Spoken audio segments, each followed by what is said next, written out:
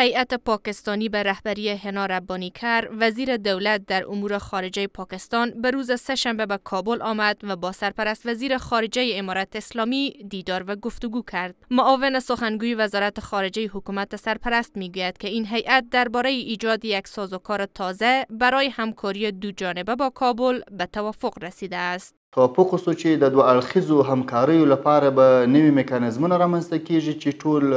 مشترک فرصتونه او مسایل به د خبرو اترو له لارې وڅېړل شي او پرمختګ لپاره به کار وشي. دغه میکانیزمونه چې د دواړو ملکونو پرېکړه کړی دی او که واقعا پاکستان په اخلاص سره ودرېږي ان شاء الله امید لرم چې ښه راتلونکی به ودرېږي. خو پاکستان صادقه نه دی افغانستان وزارت امور خارجه در خبرنامه گفته است که امیرخان متقی با هیئت پاکستانی درباره آزادسازی زندانیان افغانستان در پاکستان، سهولت در صدور ویزه و توسعه بازرگانی گفتگو کرده است و این هیئت برای از میان برداشتن این مشکلات اطمینان داده است. هر قدری که ما با کشورهای همسایه روابط خود را مبتنی بر حسن همجواری با صبر شکیبایی داشته باشیم به ما اندازه می‌تونیم که